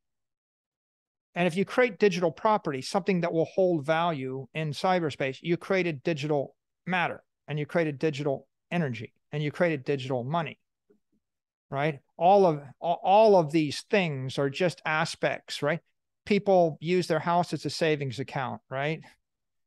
Right they used to use gold as money and now they don't but i chop it into a coin maybe it would be again. So and and uh is oil matter or is oil energy right? Well you know i can i can convert the one to the other and back again so these are all just different aspects of each other, depending upon how fast you're vibrating or uh, the frequency of the thing and the state of the thing. Uh, the big idea is the first 30 years of the internet, you had non-conservative digital applications. You had digital, you had digital information. And if you look at all of the great things that were invented, uh, you know Facebook and Amazon and and Google and and uh, Twitter and the like and Apple and photos and books and records and maps. All of these are examples of uh, digital information flowing. They're non-conservative. Every single one of those things is a non-conservative application, and to the extent that they touch money or property, they're uh, they're transacting in credit, right? They're they're uh, they're moving credit around and ultimately the final settlement is outside of the digital realm and it's in the physical realm. So they're really just uh, shadows and ghosts. So that was that's what gets us to you know 2009 and then for the next decade things just get worse uh, in in the digital realm. And the reason they get worse is because of the twitter cane right? And social media becomes toxic right? And all these other the, these other counterparties, they all get more centralized and they get more uh, dysfunctional. And finally, Bitcoin gets to critical mass. And now you have uh, a viable digital energy network. And so if, if I want to, uh, if I want to create something of substance in the digital realm, the way to do it is to embed the Bitcoin in it. Hmm. And you can do that for everything. For example, on uh, on YouTube, you know, it seems evident, right? Just ask ask a uh, a YouTube uh, host to you know post a thousand dollars if they want to host a thousand people, and ten thousand dollars if they want to host ten thousand people, and a hundred thousand dollars worth of Sats. Please, Bitcoin Maximus, don't beat me up for using dollars. I will convert it to Sats at some point, but but uh, I'm just using the the current uh, fiat numbers to give a rough order of size. If they did that, then every time a scammer tried to take advantage of you, if they did it in a big way with 100,000 fake followers, it would cost them $100,000. And then every, t- every time you go to the trouble, now, now you're monetizing malice. Okay. Mm. Because if, if there's a hundred thousand person scam on YouTube, it's probably worth 10 minutes or five minutes for you to fill out the form to get it shut down, especially if you get paid 10 or 20 or 30% of the fee, right? right. So, uh, right now, if you try to report, I, I, had someone imitating me the other day on Twitter. So, yeah, it seems like a slam dunk, right? I mean, I'm going to go and report it and say, look, this person is imitating me. They've got my bio, my laser eyes, and and I've got the blue check with the 2.7 million followers so how long can it take for you to look at my blue check and the 2.7 million followers and the other person with 37 followers that stole my entire bio and then cancel them? So I wait like two days and I get like an email. Uh, sorry, but we're unable to confirm that you're actually in charge of the account. And so your appeal has been denied. And this is after 10 minutes of clicking on things. So at this point it's it's kind of a joke right that that um the deck is stacked in favor of the malefactors against the good actors with no consequences for malice with no reward for virtue so you build you build the digital energy into all of that and now you have consequence and and consequence leads to truth mm. because like you can build it into your, all your inboxes if they if they built this uh, some kind of either deposit or a gas fee you want to send me uh, an email? Fine. You know, post ten thousand satoshis or a thousand satoshis. Post something, and if I delete you, right, then I get to keep it. And if I don't delete you, you get the money back, or or something. Or maybe you should just be paying me for my time if I'm going to sit. You know, pay me a nickel for clicking, right? Seems like that. I mean, it, the way the postal service worked is they charge for stamps. You can't send a letter to someone for without right. a hmm. dollar, right? right? So, so implement postage of some sort, and then all the inboxes become virtuous again. Do you know I I have uh, an Instagram inbox I can't look at because it's full of like, you know, robot scammers. I have a Twitter inbox I can't look at. You know, it's full of junk. I have three email filters on my corporate email account scanning continually. right. So just it's a never ending thing. There was and 95% of the comments on Twitter are uh, are bot comments. So what what Satoshi's doing is not just revolutionizing banking.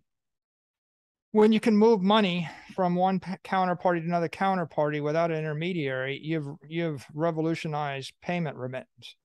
When you can manifest the money in cyberspace, you've revolutionized all store of value. When it becomes scarcity, you've almost obsolesced all the other store of value assets. Like, why would you want anything that wasn't going to last forever with a deflationary supply? There's uh, everything else has a finite, has a half life of 20 years, 30 years, 10 years, and an inflationary supply. Right? It's either it's either decaying naturally or it's being inflated naturally. So why would you want to own any of it as store of value? The answer is you wouldn't. All that stuff should be demonetized and and it should be ripped down to utility value. Right? So that's the second revolution. But the third revolution is is bringing bringing integrity to cyberspace. Truth, consequence, integrity, right? The laws of physics to cyberspace. That and and that's the part that is not understood.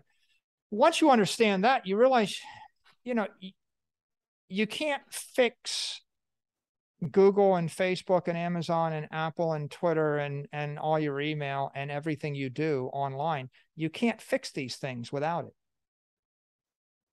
Right? Uh, it's it's not just safety, like it's safety for everyone that uses the platform. So there's clearly there's some cyber civility and cyber security there, but it's also product quality. Like like how is the product quality degrade when you click on someone's tweet and 95% of the comments or 98% of the comments are garbage bots. Right? I mean, it's like, how would you feel about your luxury hotel if you walked in and there were like 62 wild animals crapping over everything, right? And everything broken and stinks, right? It's like you can't create anything beauty, uh, anything of beauty, anything elegant unless you have um, the laws of physics and and uh, irreversible consequence. And uh, that takes you to the last point, which is if you want to create a city in cyberspace, you need cyber property and cyber matter and cyber energy to create a city in cyberspace. Just like you want to create the city of New York, you needed granite to build on. You need granite, steel, and glass and some technology. You couldn't have built New York on swamp and sand, you know, with balsa wood. Wouldn't work.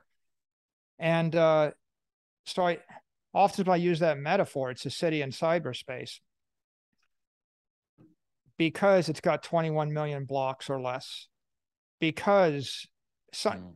something you build there right has eh, has the ability to last forever and so what what are you building well you the bitcoin is the fa- is the economic foundation the business is the thing you're building on top of the foundation so i can build a mobile app, I can build a website, I can build a foundation, I can I can build something. But you can look around you. Uh, Cash App is built on part of this foundation. Uh, Muun Wallet is built on this foundation. MicroStrategy has built a business on this foundation. A lot of ways to plug in. You can plug in your balance sheet. You can plug in your product. You can plug in your service, right? You can you can create an insurance comp uh, insurance product. You can create any kind of you know all the hardware devices, right? They can be built and and uh, the hardware devices become more valuable because of the value of the thing that's in cyberspace. And so um, ultimately, that's that's why I think this is so revolutionary.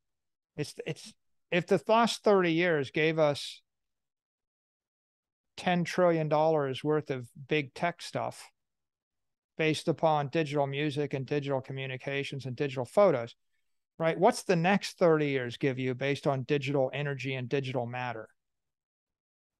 Right? There's no there's no reason why, you know, look, Apple could become a bank with 10 trillion dollars in the iCloud.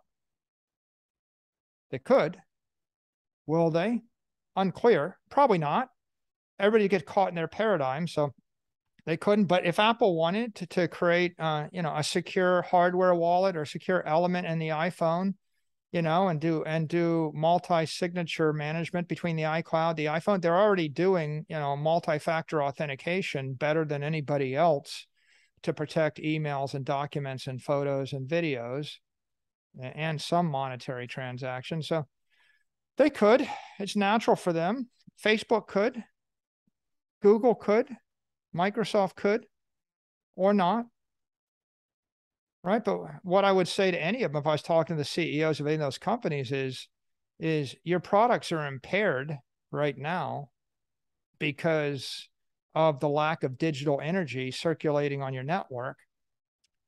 And you know, Bitcoin is the the material that you can use to clean up your cyberspace and clean up your cyber applications. And without it, you can see Twitter struggle to solve the problem of bots since the beginning the company was formed, right? Right. And, and I just illustrated YouTube hasn't solved the problem. Right. And and uh, I didn't mention, right, uh, how many scammers come at you through WhatsApp or Messenger or or just iMessage or any other app. I mean, all the time. Anybody that gets you probably must get hit on all the time if you're a podcaster right? Uh, all the time. Every communication channel is an insecure communication channel. And that's because it's an, we live in a world of asymmetric warfare where, where someone can launch 10,000 attacks out of the blind, right? Out of the, out of the shadows with impunity. And if every one of them fails, they wasted a little bit of electricity. But if one of them succeeds, they get paid. And, uh, and so we need to shift the balance of power. And the way to do it is you, there have to be consequences. You know, like that. We've seen it in Twitter. If I walked up to you on the street and you were standing there, maybe next to your family or your friends, and I said some of the things to you that people say to each other on mm. Twitter, you know, I, you would think, first of all, I live in Florida, right? I mean, his armed society is a polite society. People have guns, right? Like uh, angelic little girls walk around with guns in their purses, and you might think that they're non-threatening, but they could take out a weapon and shoot you dead in a couple of seconds. So you think twice before you say things or do things, right? Road rage will get you killed. Going to a bar and stepping on someone's foot could, could get you killed, right? Looking at someone's girlfriend the wrong way could get you killed.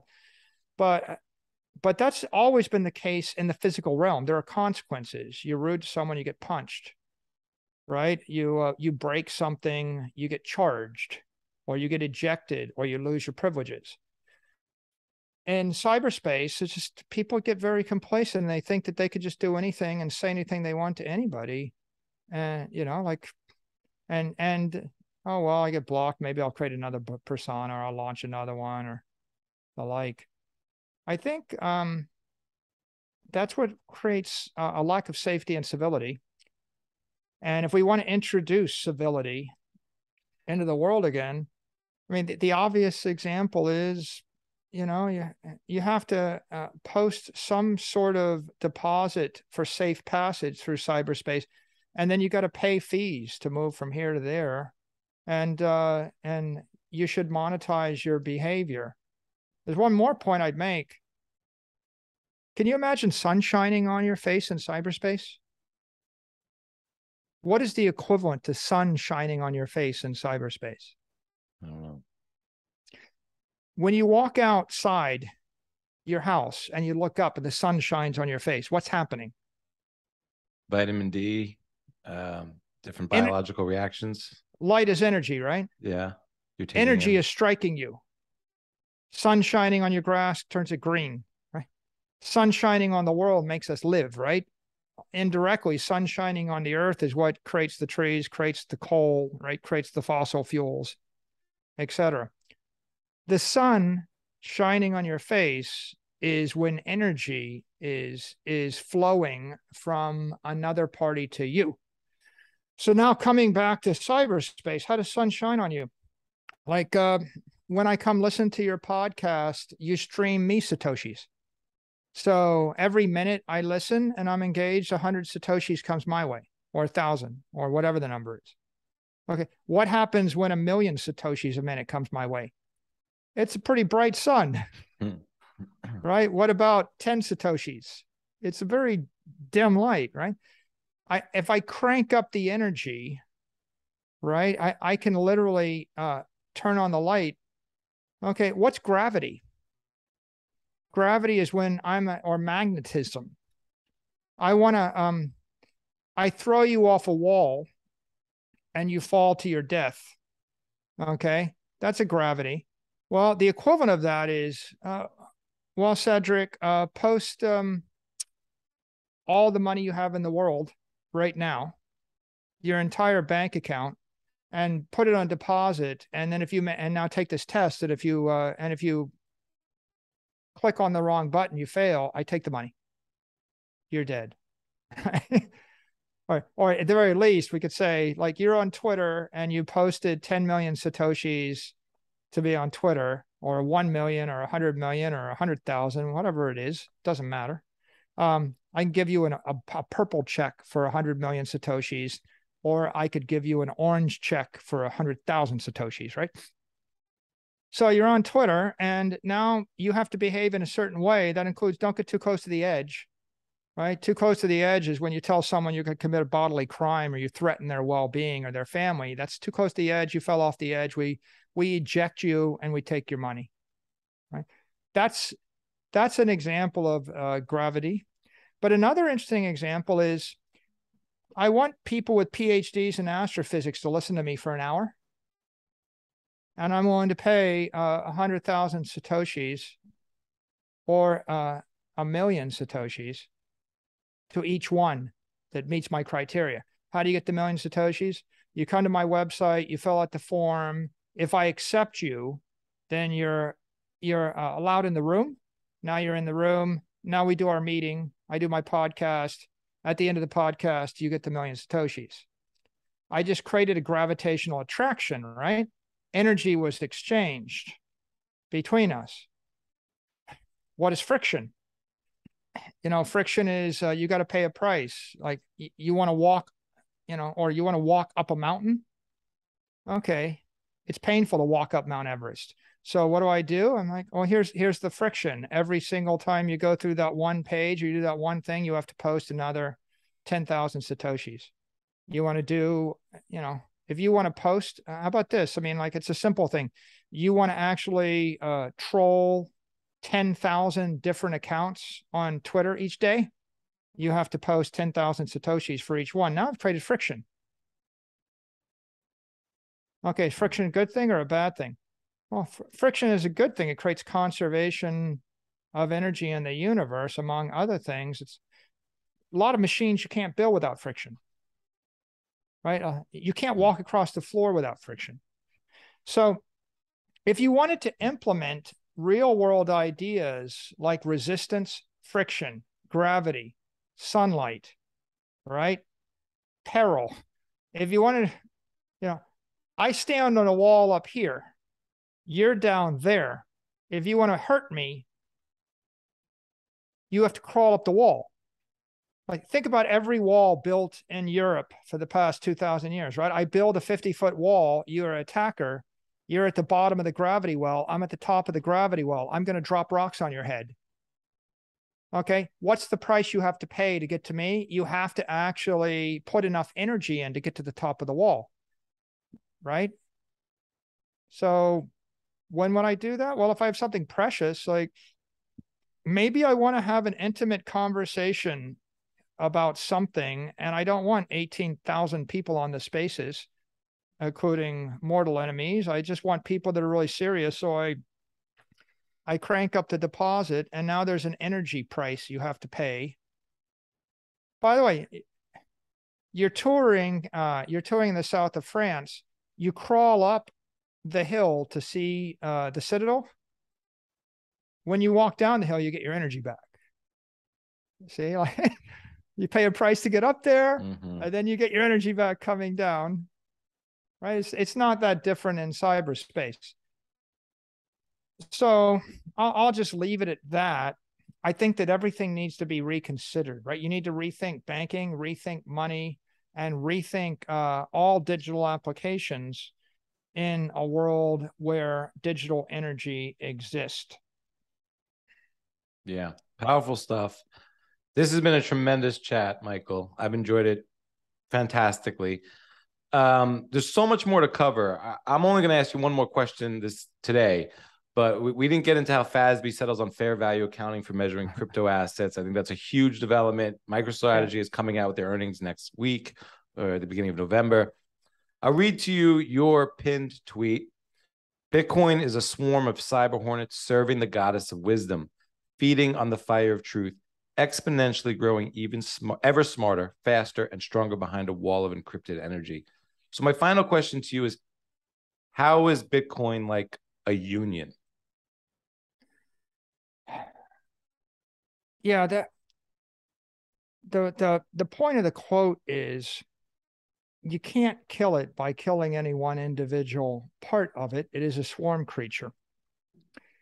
And um, it's a swarm creature every every corporation every person every entity every regulator every bitcoin machine every everything plugged in the network is part of the bitcoin system and it gets more powerful as more energy as more as more creatures or, or more entities join right i mean if someone joins with a million satoshis they bring energy to it when uh when cash app plugged lightning into their application for 40 million people that brought a lot of energy. If you buy a billion dollars worth of it, that buy, brings a lot of energy to it, right? Every every organization or regulator that embraces it to any extent brings energy to it. And as as more and more entities join, right? It's like a union because they're only joining because they have the shared ideology, right? They have the same values, right? What are the values, right? serve, you know, worshiping the goddess of wisdom, right? Uh, truth, math, conservation of energy, nature, right? The natural order of things. If it bothers you that one person could destroy every hotel room in the world in one split second with no consequences, if that bothers you, then probably you want Bitcoin, right? Because that's non-conservative, right? If you believe in order, right? If you if you believe in fairness and truth and equity and rationale, then uh, then that is wisdom. Then you want to join a union of you want to join a, a group of people that share your values and share your beliefs. The reason it's like a union, though, is is that um, when you join the union, instead of a union card and membership, you get Bitcoin, and and and Bitcoin is your union card, and and Bitcoin is naturally empowering. And if you choose uh, to plug yourself into it, and, and you can chug, plug one tenth of yourself into it. Right? You could plug one tenth of your tangible assets into it, or one one hundredth of your tangible assets into it. So you get to join the union one percent, or you could plug your entire family into it. You can join the union hundred percent. You can join the union two hundred percent. I think I calculated MicroStrategy joined the union 250%. We actually invested 250% of our of our uh, equity into into Bitcoin. So you can join, but you can also um, you can align uh, your company as well, right? I mean, Grayscale's got an alignment, MicroStrategy's got an alignment, every Bitcoin miner's got an alignment, Block has got an alignment, Fidelity's got an alignment, NYDIG's got an alignment. You you run a company, you're a podcaster, you have an you have aligned your P and L as well as your balance sheet, right? So you get to align uh, your commercial activities as well as your personal savings activities. And then you can also align your ideologies, right? Your church, your political party, your club, right? There are, there are all sorts of ideologies and philosophies, you know, school of thought. So the network keeps getting more powerful as more people join on on the margin, if um if all 8 billion people on the planet joined, we'd be better. But if all 8 billion people on the planet joined with 1% of their wealth, that's not as good as if they join with 20% of their wealth. But if um, if all 80 million companies in the world plug their balance sheets in, that's even better. And if they plug their P&L in, that's even better. So so there are various degrees of unionization. But one thing we see through history is, right, if if you're um if you're uh weak or the oppressed, then your best hope is to unionize with uh, with everybody else in your circumstance. You all come together and collectively bargain or collectively negotiate in order to generate power against against the party that is oppressing you. And that's what unions have traditionally done, right? They've they've given economic opportunity to the disenfranchised. And that's a justification for the country supporting them and allowing them. Hmm. Um, Bitcoin is a monetary union, right? And and uh, everybody's oppressed to some degree by the monetary system. In some places, like in the in the developing world, much worse than in the than in the second world, but even that's much worse than in, than in the developed world. And then, of course, everybody is uh, everybody is disadvantaged in the economy because they have to actually build their products and their and their services around a currency which is dysfunctional and or corrupt. So Bitcoin it offers that it's it's better than a union but it's at least a union. Uh, for someone that understands union, I would use that metaphor. But uh, but the but the tweet, it's much broader than that, right? The, what the tweet is saying is that Bitcoin will never die as long as there's one person alive in this world that yearns for freedom. That's what that tweet says. Hmm. Whether it's a Bitcoin miner, or a person with a Bitcoin wallet or somebody running a node or a company. It doesn't matter who it is, as long as there's at least one person in the world that understands Bitcoin and yearns for freedom, right? It will continue. It's a it is a uh, a decentralized ideology, and you can't kill an idea. Like, well, you can't kill an idea until nobody is left on earth that believes in the idea, right? And the idea is freedom and sovereignty. That's the idea manifested in a technology protocol. And that's what you want to be, right? There are other ideas. I think we like this one. We th- I think we think that the you know goddess of wisdom would like this one. We definitely like this one. And what, you know, and I, I want to encourage people not to be scared. I think Michael Saylor and MicroStrategy have been proving or demonstrating not being scared by building the bridge of steel made out of Bitcoin and standing on that bridge. You guys bought hundreds of millions to start, and you keep buying more to prove that the bridge is safe, that the technology is safe, and to lead the way and, and, and by example. And I also think back to your tweet. I love 90s hip hop. And you said, more money, more people, more power. It was a really interesting way to define the Bitcoin Union and what we're doing here. Um, this chat has been so dope, Michael. I leave it to you for any parting words and to let people know where they can find you, your work, and MicroStrategy and what MicroStrategy is up to. Yeah, well, I appreciate you inviting me on. I I love what you're doing, and uh, and and uh, I think that's what makes Bitcoin special. It's that uh, we're all working together in order to educate the public that there's a better way, and uh, I would encourage you to keep educating, and uh, I will do the same.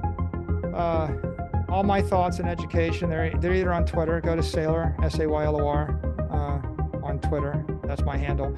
Or I try to post everything that I think is constructive on hope.com. Bitcoin is Hope, H O P E. And uh, I mean, those are the two primary resources that uh, I point people toward. And would just say, let's keep up the good work and spread the good word. Yeah. Thank you so much. It's been fantastic. Yeah, my pleasure. This episode with Michael Saylor on how Bitcoin is a shining city in cyberspace waiting for you is powered by Crowd Health. As always, stack sats, stay humble, and stay laser focused out there. And thank you for listening. This is Cedric. Peace.